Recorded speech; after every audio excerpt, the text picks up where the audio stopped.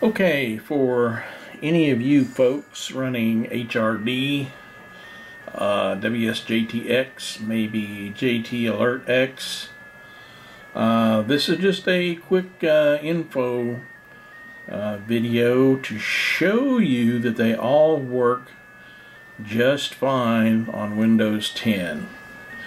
No issues whatsoever with the upgrade. It went well uh, and things just seem to work just like they did before. No problems. Here's uh here's the logbook. Let's see. Oh there we go. I got a fish on the hook.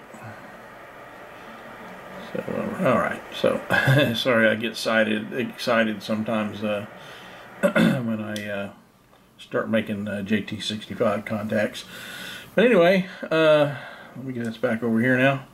The uh, the spider DX spider down here works fine. The logbook works fine. Everything works perfectly fine on Windows 10. I have not had any any issues. So that's just a real quick one. Uh, don't be afraid. Be bold. Go for it and get 10. I'm Dave, AF5DN.